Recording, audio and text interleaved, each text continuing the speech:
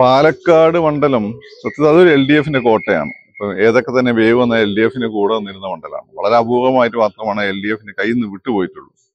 പക്ഷേ L D എഫിന്റെ കൂടെ നിൽക്കുമ്പോൾ തന്നെ ആ മണ്ഡലത്തിന്റെ പ്രത്യേകത എന്ന് വെച്ചാൽ ഒരു ഫിക്സ്ഡ് ആയിട്ട് ഒരു ഫിക്സ്ഡ് ഒരു അപ്പോസിറ്റ് ആയിട്ട് കാണാനും പറ്റില്ല. കാരണം ഇതിന്റെ മുമ്പ് തന്നെ കോൺഗ്രസ് ശ്രീകണ്ഠൻ ജയിക്കുന്നതിന്റെ രണ്ട് ലക്ഷം മുമ്പ് രണ്ടായിരത്തി നാലിലാന്ന് തോന്നുന്നു എം പി രാജേഷ് മത്സരിച്ച സമയത്ത് തന്നെ അന്ന് കണ്ണൂരിൽ നിന്ന് വന്ന് വന്ന് മത്സരിച്ച സതീശൻ പാച്ചേനി യൂത്ത് കോൺഗ്രസ് നേതാവ് എന്നോട് ചെറിയ വോട്ടിന് അത് അയ്യായിരം വോട്ടിനോ മറ്റോ ആണ് അന്ന് കഷ്ടിച്ച് രക്ഷപ്പെട്ടു പോയത് M P Rajesh. M P Rajesh അന്ന് സി പി എമ്മിന്റെ ഈ എന്താ യുവവിഭാഗത്തിലെ ഏറ്റവും പ്രധാനപ്പെട്ട ഒരു നേതാവായിരുന്നു.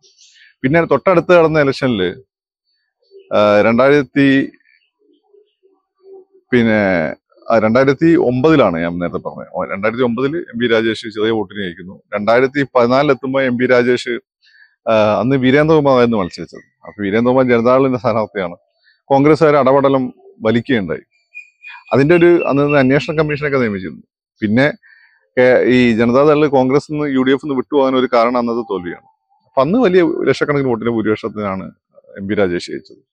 പിന്നെ അത് കഴിഞ്ഞ് കഴിഞ്ഞ തവണ ശ്രീകണ്ഠൻ നല്ല ശ്രീകണ്ഠൻ നാട്ടുകാരനാണ്. ശ്രീകണ്ഠൻ നമ്മളൊന്നും അങ്ങനെ ഒരു വലിയൊരു ക്ലൗട്ടുള്ള നേതാവെന്നായിട്ട് പലപ്പോഴും എം എൽ എ ഓശല കണ്ടിട്ടുണ്ടെങ്കിലും നേരിട്ട് പരിചയമല്ല. കണ്ടിട്ടുണ്ടെങ്കിൽ പരിഗണിച്ചിരുന്നില്ല. പക്ഷേ ശ്രീകണ്ഠൻ ആ നാട്ടിലുണ്ടായിരുന്നു എന്നാണ് നമുക്ക് അറിയ അറിയുന്നത്. പിന്നെ പറഞ്ഞു കേട്ട പണ്ട് ഒരുപക്ഷെ ജയിക്കുമായിരുന്ന സതീ സതീശൻ പാച്ചേനിയെ പാച്ചേനിക്ക് കിട്ടേണ്ടി കിട്ടേണ്ടിയിരുന്ന കുറച്ച് വോട്ടുകൾ ശ്രീകണ്ഠൻ കാരണമൊന്നും കിട്ടാതെ പോയി. അതുകൊണ്ടാണ് സതീശൻ പാച്ചേനി തോറ്റെന്നൊക്കെ പറയുന്നത്. നമുക്കറിയില്ല.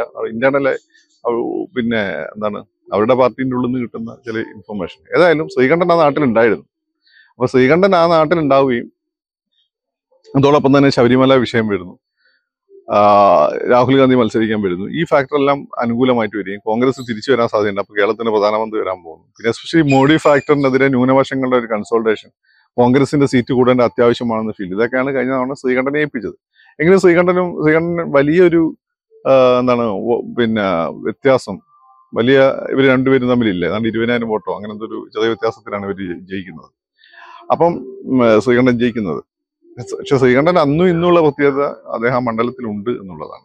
അപ്പൊ എത് സ്ഥാനാർത്ഥിയായി നിൽക്കുന്നത് വിജയരാഘവനാണ്. വിജയരാഘവൻ മലപ്പുറം ജില്ലക്കാരനാണ്. പാലക്കാട് വളരെ സജീവമായിട്ടുണ്ടായിരുന്ന ആളാണ്. സി പി എമ്മിന്റെ ഇന്നത്തെ തന്നെ ദേശീയ തലത്തിലെ പ്രമുഖ നേതാക്കന്മാരിൽ ഒരാളാണ് പോളിറ്റ് ബ്യൂറോ മെമ്പറാണ്. അപ്പം അദ്ദേഹത്തിന് ആ രീതിയിലുള്ള സി പി എമ്മിന്റെ വോട്ടുകൾ അതായത് പ്രധാനപ്പെട്ട നേതാവ് ഭരിക്കും മത്സരിക്കുന്ന സമയത്ത് എങ്ങനെ അദ്ദേഹത്തെ ജയിപ്പിക്കണം എന്നുള്ള ഒരു ആഗ്രഹം ആഗ്രഹം പാർട്ടിക്കാർക്ക് ഉണ്ടാവും അപ്പൊ അത് ക്യാപിറ്റലൈസ് ചെയ്യാൻ പറ്റിക്കഴിഞ്ഞാൽ അദ്ദേഹം കൂടാതെ ജയിക്കും. കാരണം കഴിഞ്ഞ തവണ തന്നെ ഇത്രയും അനുകൂലമായ സാഹചര്യം ഉണ്ടായിട്ട് യു ഡി എഫിന് ചെറിയ ഭൂരിപക്ഷമാണ് അവിടെ കിട്ടിയിട്ടുള്ളൂ. പിന്നെ അവിടുത്തെ നിയമസഭാ നിയോജക മണ്ഡലങ്ങൾ നമ്മൾ എടുത്തു നോക്കി കഴിഞ്ഞാൽ അവിടെ പാലക്കാട് മണ്ണാർക്കാട് ഈ രണ്ട് സ്ഥലങ്ങളാണ് യു ഡി എഫിന് കിട്ടിയിട്ടുള്ളത്. അത് പാലക്കാട് ശക്തമായിട്ടുള്ള ത്രികോണ മത്സരം ഷാഫി വിജയിക്കുകയുണ്ടായി. മണ്ണാർക്കാട് അങ്ങനെ ലീഗിന്റെ ഒരു കോട്ടയാണ്. അത്. പൊതുവേ ലീഗ് ജയിക്കുന്ന ഒരു മണ്ഡലമാണ്. ജോസ് ബേബി ആണെന്ന് തോന്നുന്നു അതിന്റെ തൊട്ടുമുമ്പാണ് സി പി ഐയുടെ സ്ഥാനാർത്ഥിയായി ജയിച്ചിട്ടുള്ളത്. അതിനുശേഷം ഷംസു കംഫർട്ടബിൾ ആയിട്ട് ജയിച്ചുകൊണ്ടിരിക്കുന്ന മണ്ഡലമാണ്. അപ്പൊ പക്ഷെ ബാക്കി മണ്ഡലങ്ങളെല്ലാം തന്നെ. ഇപ്പൊ അമ്പലപ്പുഴയൊക്കെ സോറി മലമ്പുഴയൊക്കെ ആണെങ്കിൽ വൻ ഭൂരിപക്ഷത്തിന് എൽ ഡി എഫ് ജയിക്കുന്ന. ഈ അതുപോലെ തന്നെ മലമ്പുഴയുടെ വേറെ പ്രത്യേകത എന്ന് വെച്ചാൽ അവിടെ ബി ജെ പി അതിശക്തമായ പ്രസൻസ് ഉള്ളൊരു പാർട്ടി. ബി ജെ പി കഴിഞ്ഞ തവണ രണ്ട് ലക്ഷത്തിൽ പരം വോട്ടുകൾ അവിടെ പിടിക്കുകയും ചെയ്തു.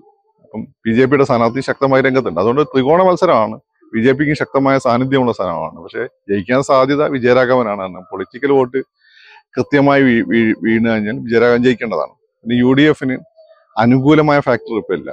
പിന്നെ ബി ജെ പി അവിടെ പൊതുവെ കോൺഗ്രസിന് സീറ്റ് മറയ്ക്കാൻ വേണ്ടി വോട്ട് മറക്കി മറയ്ക്കാനോ സാധ്യത കേരളത്തിലുണ്ട്. പക്ഷെ അവിടെ സംഭവിക്കില്ല. കാരണം അവർ വളരെ സജീവമായ രംഗത്തുള്ള അവർക്ക് അവരുടെ മാൻഡിൽ തെളിയിക്കേണ്ട ഒരു ആവശ്യമുള്ളൊരു മണ്ഡലമാണ് അവർ അപ്പം അതുകൊണ്ട് ആ- ഒരു ഫാക്ടർ അവിടെ ഉണ്ടാവില്ല.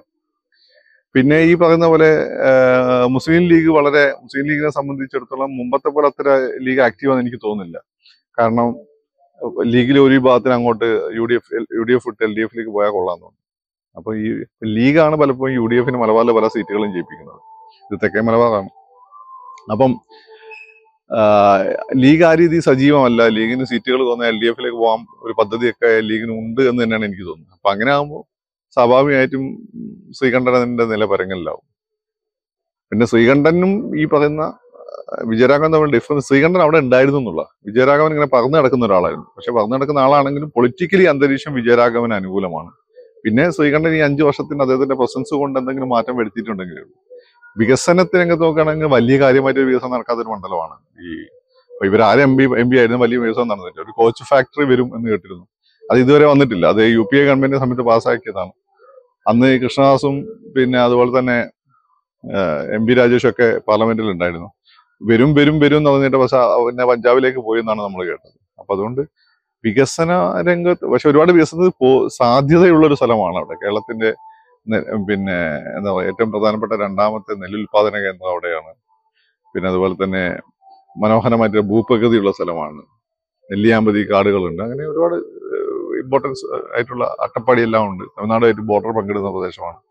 വ്യവസായത്തിനാണെങ്കിലും ടൂറിസത്തിനായും വളരാനുള്ള സാധ്യതയുണ്ട്. പക്ഷെ ആ രീതിയിൽ വലിയ രീതിയിൽ വികസനം ഇപ്പോഴും വന്നില്ല. ഇപ്പോഴും ഒരു ഗ്രാമീണ സമ്പദ് വ്യവസ്ഥ നിൽക്കുന്ന പ്രദേശമാണ്.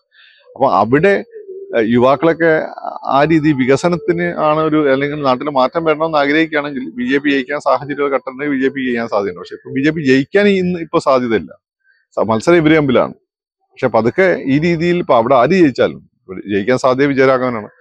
ആര് ജയിച്ചാലും അവിടെ കാര്യമായിട്ട് ഗ്രാസ് റൂട്ട് ലെവലിൽ ഡെവലപ്മെന്റ് പുരോഗതി വന്നിട്ടില്ലെങ്കിൽ പ്രോഗ്രസ് വന്നിട്ടില്ലെങ്കിൽ അത് പിന്നെ ഭാവിയിൽ അവർക്ക് ദോഷം ചെയ്യും ബി ജെ ഗുണകരമായി മാറാൻ സാധ്യത